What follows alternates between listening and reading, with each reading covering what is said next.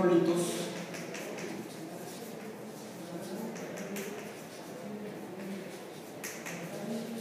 son iones sin solución.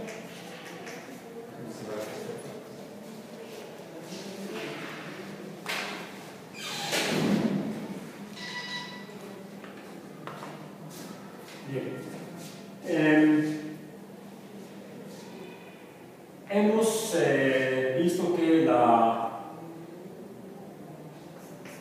fuerza electrostática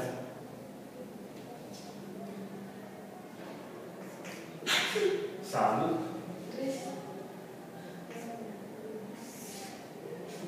es la responsable de que los eh,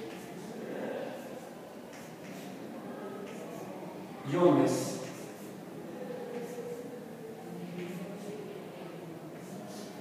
se ah, atraigan y se rodeen por moléculas de agua. En el caso de los aniones, decimos que por la, por la densidad de carga positiva de los hidrógenos, y en el caso de los cationes, por la densidad de carga positiva de los oxígenos. No, negativa de los oxígenos. Bueno, ahora, ¿cómo se da esto eh, y qué consecuencias tiene? Pues habíamos visto que si una, ah, cuando digo las soluciones no electrolíticas, cuando una partícula de algo, puede ser un átomo sin carga, sin carga, o una molécula, cualquiera que ésta sea, se encontrara inmersa en agua. Aquí estoy representando moléculas de agua. Se realidad estarían estas, estas moléculas o átomos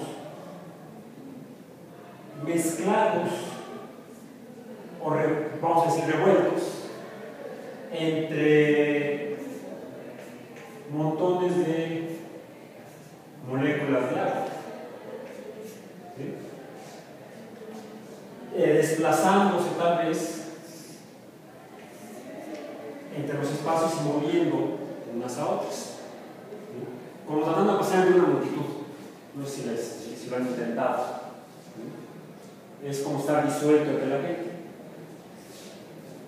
Eh, y eso provoca precisamente esa inmersión de, las, de los solutos en el solvente, provoca que finalmente, como habíamos visto, se modifiquen las propiedades del de, eh, solvente puro, dado que ya la interacción entre las partículas del solvente eh, se ven interferidas inicialmente mecánicamente por las partículas de, lo, de o los solutos.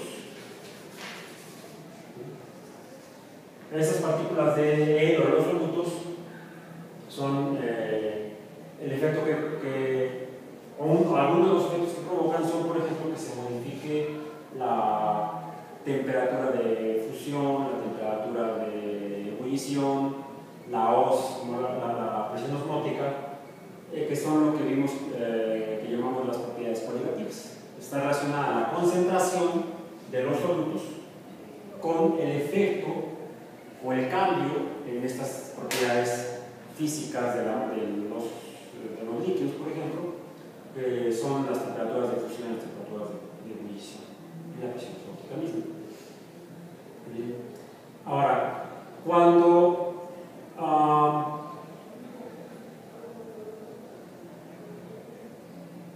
entonces, eh, ahora, ¿qué tanto se va a mover una partícula en el solvente? Pues va a depender de qué tan fácilmente se desplaza entre ellos. Las partículas pequeñas, los solutos pequeños, pues inicialmente podrían moverse fácilmente a través de los intersticios, vamos a de las, moléculas del solvente solvente. pueden ver fácilmente. Las moléculas más grandes les cuesta más trabajo. O las partículas más grandes.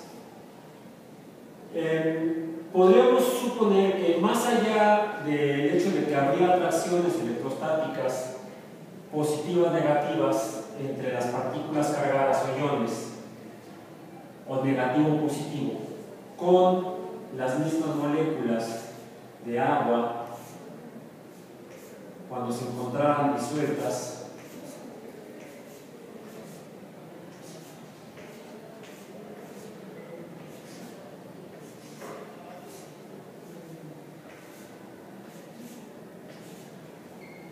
la, el, un cation, por ejemplo, o un anión, uno puede esperar que se, estas partículas, su movilidad en el medio también dependía inicialmente del tamaño.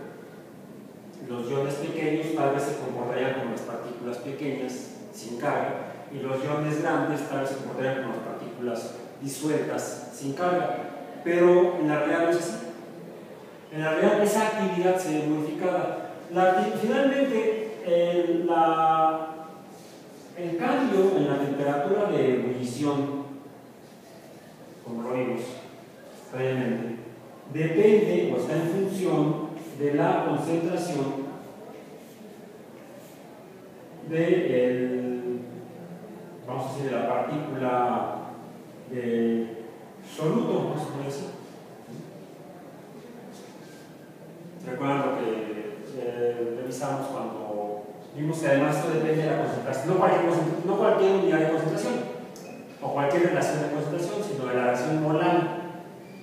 Depende de la concentración molar, no, no, El cambio de temperatura de emisión está en función de la concentración molar del soluto, o de o los solutos. A mayor concentración de soluto, mayor el cambio de temperatura de ebullición. Mayor concentración molar. Entonces, podríamos suponer que la actividad, o sea, que tanto se mueve, también va a estar en función de esa misma concentración. Vamos a poner ahora concentración C. Unidad C de concentración, más el símbolo C de concentración. La concentración podría estar en unidades molares o molares. Eh, el cambio de temperatura de ebullición o el cambio de temperatura de fusión, ambos están en función de la concentración, de la concentración pero en unidades molares. La actividad estaría entonces en función de la concentración. Y uno podría, eh, de hecho, eh, en el caso de los de, solutos no iónicos, efectivamente podemos, en concentraciones diluidas, la actividad es igual a la concentración. Están directamente relacionadas y una forma de medir la actividad del de, de la partícula, del soluto, de las partículas del soluto, es midiendo su concentración. Uno podría entonces suponer que lo mismo sucede cuando las partículas están cargadas, cuando se trata de iones. Pero, en la realidad, eso no sucede. En la realidad, en el caso de los iones, resulta que la actividad ya no es igual a la concentración. Porque los iones, en el caso de solventes polares, interactúan fuertemente, como en el caso del cationes metálicos o los aniones eh, halogenados con el agua. Hay una desviación. Si la relación fuera lineal como aquí, uno podría suponer que la,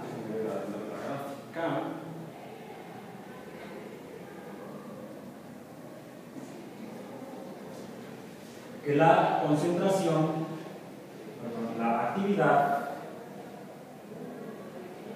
actividad depende, actividad depende de la concentración y sería algo lineal.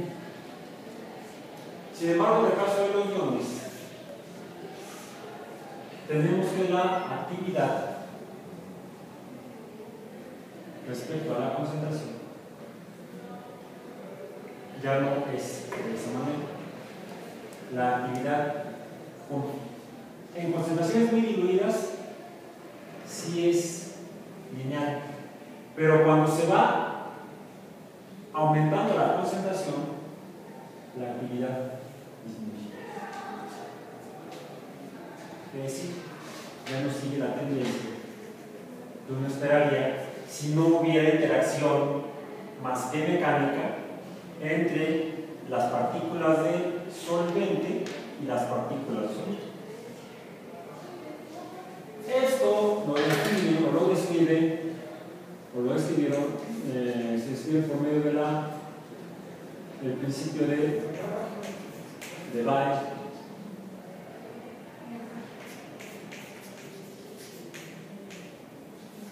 Ok. Sabe.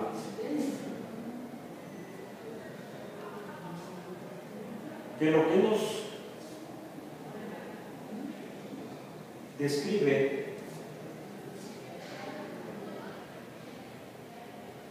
es que la concentración, actividad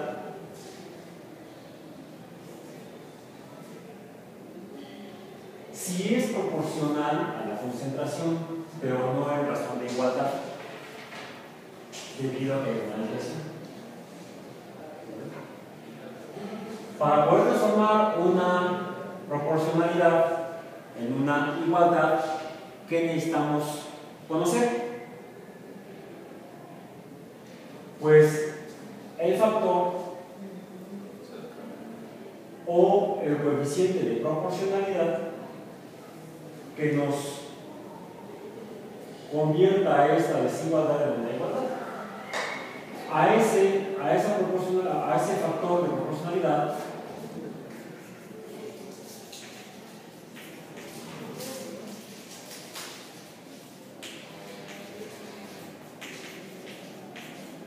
Para el caso de la actividad de los iones iónica, de los iones en solución, es conocido como coeficiente de actividad.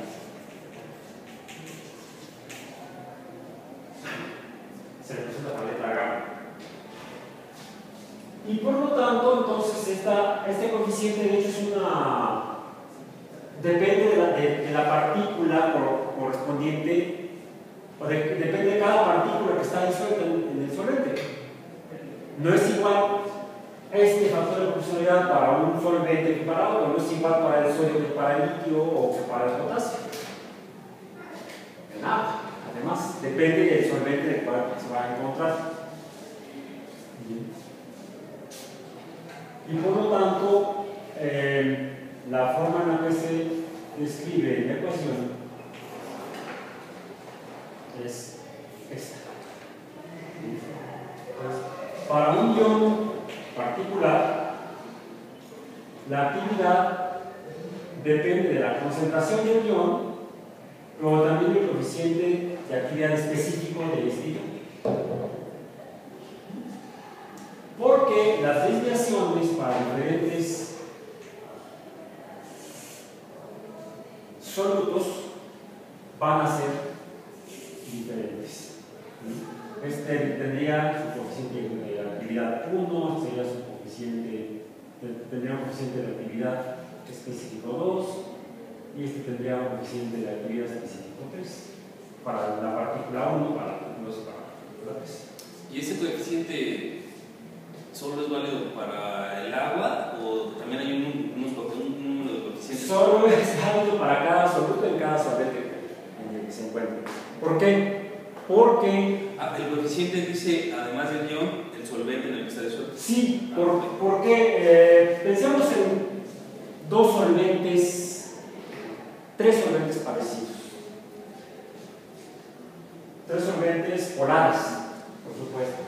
Porque para que haya interacción electrostática entre iones con, sol, con solventes, los solventes deben ser polares. Debe haber cargas parciales para que se manifieste la fuerza electrostática. Si no hay cargas parciales y el solvente fuera de la cloruro de carbono, el tetracloruro de carbono es no polar, ni siquiera hay interacción. No se mezclan, no, no forman una eh, pensemos entonces en tres compuestos que puedan ser polares, que sean líquidos y en los que se puedan disolver iones. Pues el más eh, conocido sería el agua.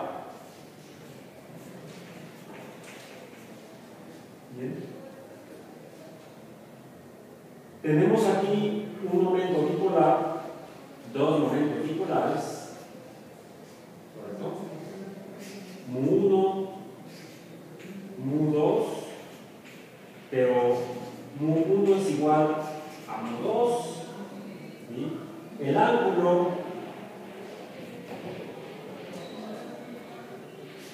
Mu1, Mu2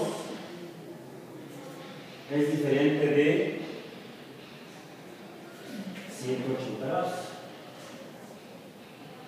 Por lo tanto, aquí tenemos una resultante, una resultante vectorial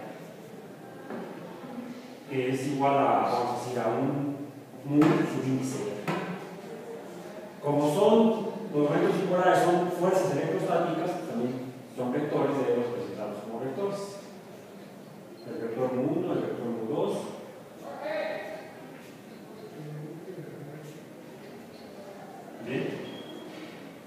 Eh, y esto va a depender de la diferencia de conectividades. Poniendo los valores de diferencia de conectividades, decíamos que el oxígeno, su electronegatividad, ¿cuánto vale? La electronegatividad del oxígeno era 3.5 o 3.0, no me acuerdo. Lo deben tener sus apuntes. Luego poner 3.0, creo que es. Luego con el hidrógeno, la electronegatividad del hidrógeno es 2.1, si acuerdo, porque la de carbono es 2.4.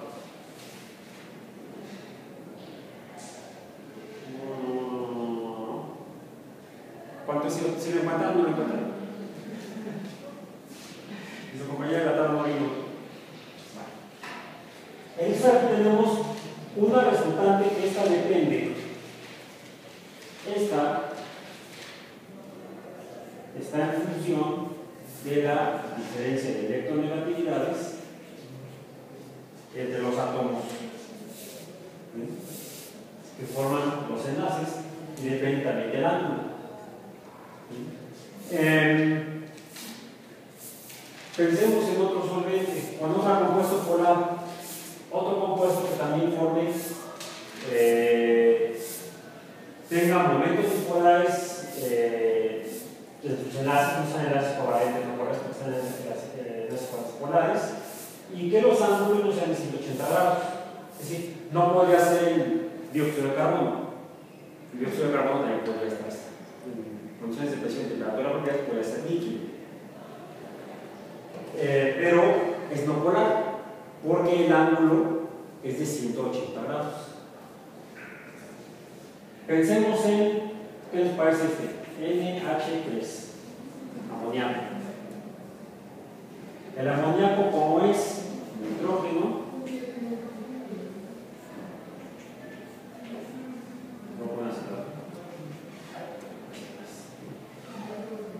Estos dos enlaces en el plano y este enlace.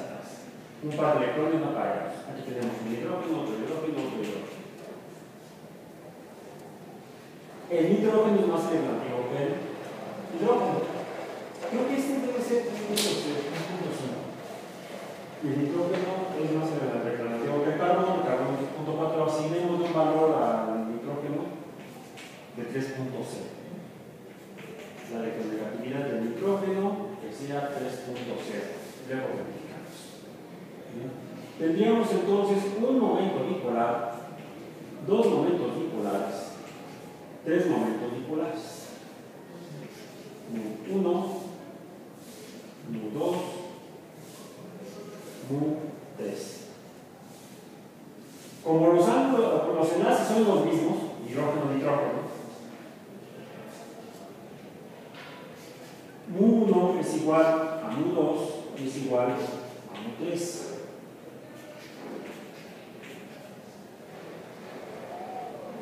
Y estos ángulos no son de 180 grados. De hecho, son aproximadamente iguales a este. ¿Cuánto mide este ángulo? Por la proliferación electrónica del oxígeno en el agua, de amoníaco, del nitrógeno del amoníaco y de carbono en el metano, los ángulos son muy parecidos. ¿Cuánto, mide, eh, miden los ángulos eh, de los enlaces hidrógeno, carbono hidrógeno en el metano? 109.5 grados. Todos estos ángulos todos miden aproximadamente 109 grados. Aproximadamente 109 grados. Aproximadamente.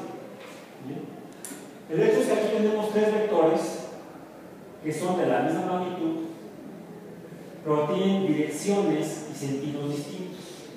Eso hace entonces que la sumatoria vectorial de los momentos dipolares, en el caso del amoníaco, nos dé diferentes de cero. Por lo tanto, tenemos una resultante con un momento dipolar diferente de cero. Pero el nitrógeno es menos elevado que el oxígeno. Por lo tanto, la polaridad en el amoníaco será menor que la polaridad en el agua. Y eso hará que la, que la fuerza electrostática, voy a poner aquí, F sub índice E, la fuerza electrostática es proporcional al producto de las cargas entre el cuadrado de la distancia. Producto de las cargas, la carga parcial del momento electoral del oxígeno, debido a la polaridad del oxígeno. Aquí esa polaridad es mayor. La carga es mayor que la carga correspondiente de la amoníaco. Entonces la interacción de aquí tendríamos entonces eh, una densidad de carga negativa acá y una densidad de carga positiva acá. ¿Correcto? Equivalente a la del agua. Negativo aquí, parcialmente, positivo acá, parcialmente. Entonces, este momento dipolar en el agua es más fuerte que en el amoníaco. La carga parcial negativa en el agua es más grande que la carga parcial negativa en el amoníaco. Como la carga, la carga del ion es igual, 1 si fuera un cation monovalente. Pero la carga, vamos a decir la carga 1, sería la del, la del solvente. La del solvente, si es pequeñita, va a ser la fuerza electrostática, vamos a poner 1, acá el solvente 1, vamos a poner aquí eh, que fuera el amoníaco, NH3. Y aquí una Q más grande, la del agua, H2O. Esto haría entonces que F sub índice 2 sea mayor que F sub La fuerza electrostática es más grande entre el agua y el cation que entre el agua, que entre el amoníaco y el cation.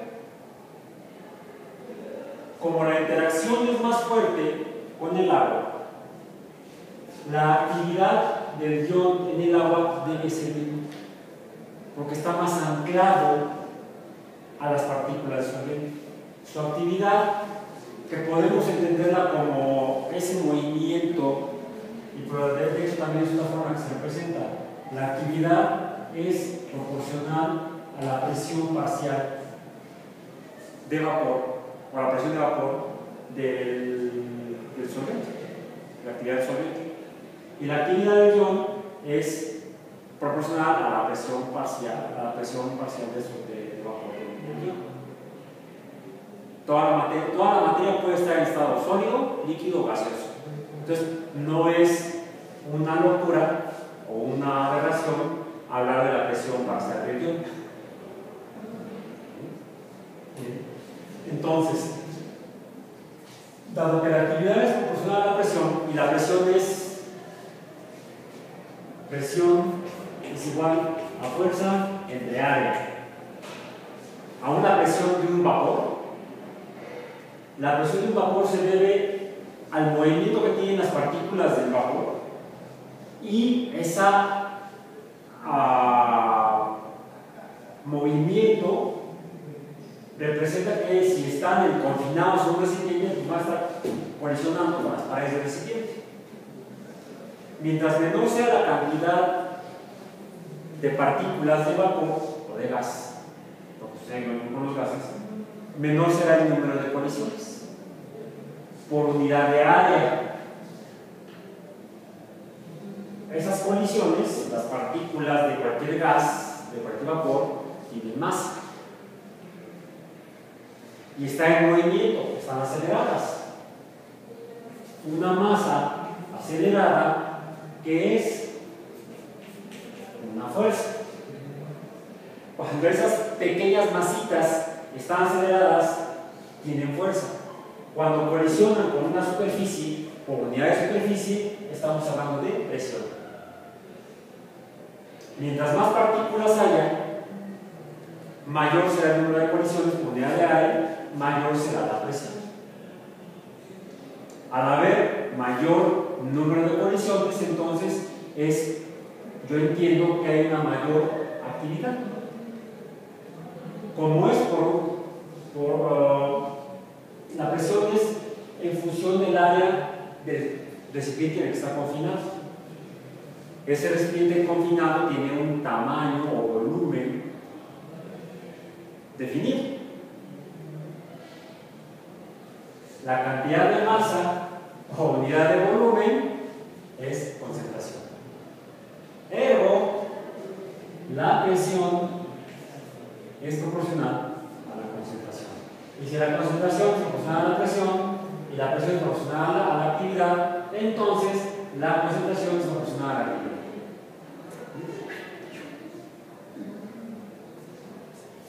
Ya eh, quedó, espero que haya quedado claro. No sé si para mí quedó claro, pero espero para ustedes. Bien, bueno.